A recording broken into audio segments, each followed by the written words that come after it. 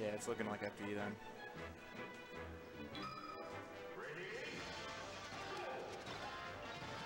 Oh, so it looks like they're just going to get right into it.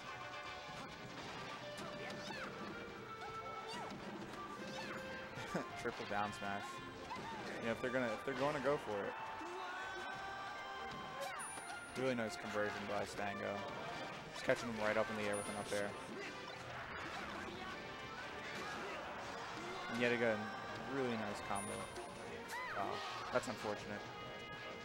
So Stango can make a comeback on this. Gets the shine split. Down smash, down smash. Just a lot going on here. Lots of shines. Lots of down smashes. Lots of up smashes.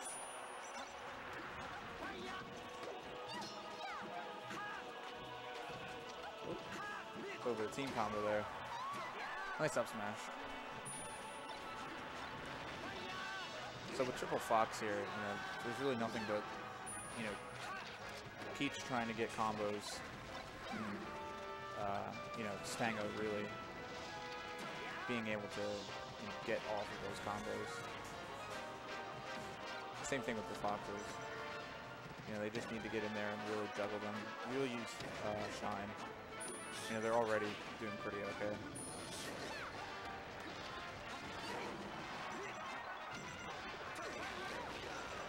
Nice nair. I was gonna say we'll see a little more better edge guarding by, uh, by the Peach player, but you know we're already to one stock apiece with Mach 2 and Argyle, or Argyle.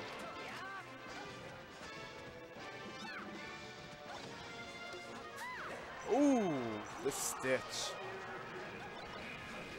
That was really just out of nowhere.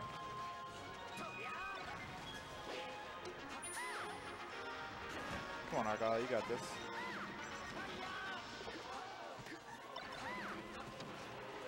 There you go.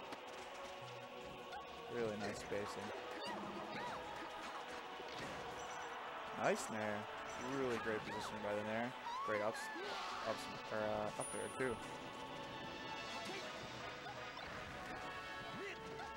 Great two stocks there. He's, you know, for being two on one, he's, he's really taking it back. Grab up smash. Oh, great DI too. Jump on stage. Yeah, there you go. Looking for a double shine there maybe, but great job catching the side B with him there.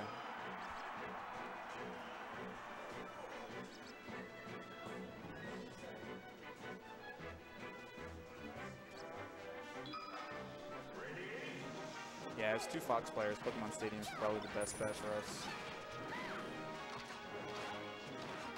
And with the ability to you know, kill the top so easily. It's prime for up throw, up smash, or up it, up air, especially on Fox.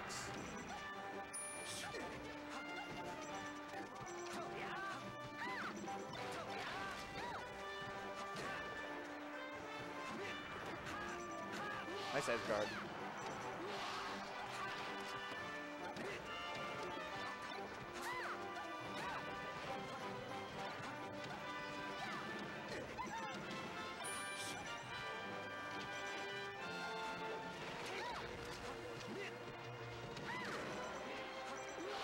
The hardest thing about this match is keeping center stage. I feel like, well, now they have it, but Mokto and Argyle really need to keep center stage if they want to, you know, wall out uh, Brooke and Stango. You know, Stango's a top player, and they really need to stay on top of him. Uh, that was questionable. Nice back there,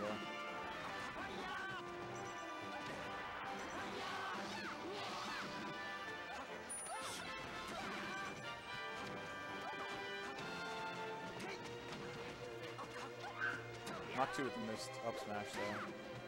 He's throwing out up smashes right now. It's falling there, but I think he was looking for a falling up air. He's coming back. Hits Stang with the back air.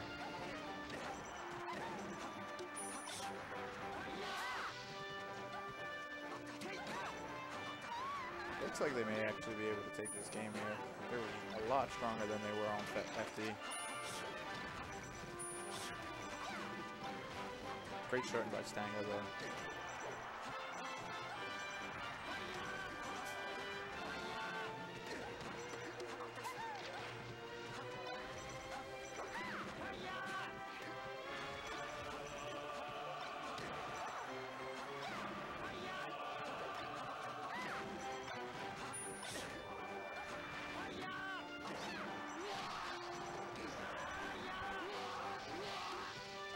Nice down smash coverage though.